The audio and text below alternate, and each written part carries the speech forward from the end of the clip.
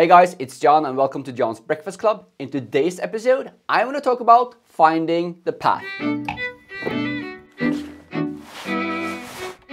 Now, the other day I listened through Ashlee Vance autobiography of Elon Musk, and to be honest, I dreaded reading the book uh, for a long time, but when I first started, by chapter 3, I was sold. And in chapter 3 is where the book really shifted gear. Now, the way I understand it from that book is that one of Elon Musk's strengths is finding the path between theoretical science and practical application. Like, for example, a paper he wrote during his college years.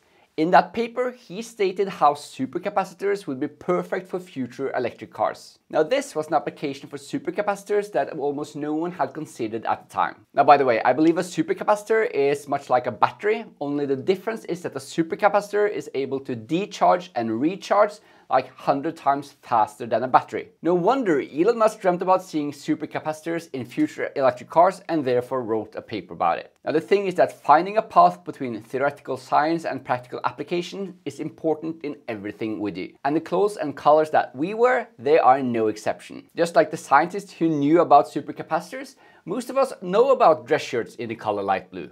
But knowing that something exists doesn't mean we can use it for something practical. To scientists, the supercapacitor was a cool concept, but with commercial limitations. And in the same way, even though we know of dress shirts that are light blue, if you don't know how to wear them correctly, they have very little practical value. But when you find a way of how you can use it, then those items become powerful tools. Now I've heard that a supercapacitor in an electric car is like 100 times faster than a conventional battery. And I would go as far as to say that the same applies for a dress shirt.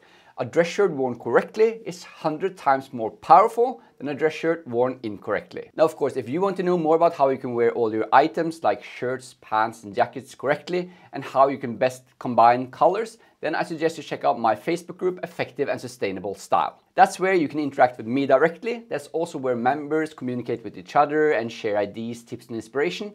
And that's where you get access to content just like this and more 14 days before anywhere else on the internet. I'm John Ballmore, a style coach for professional communicators, and I'll see you in the next one.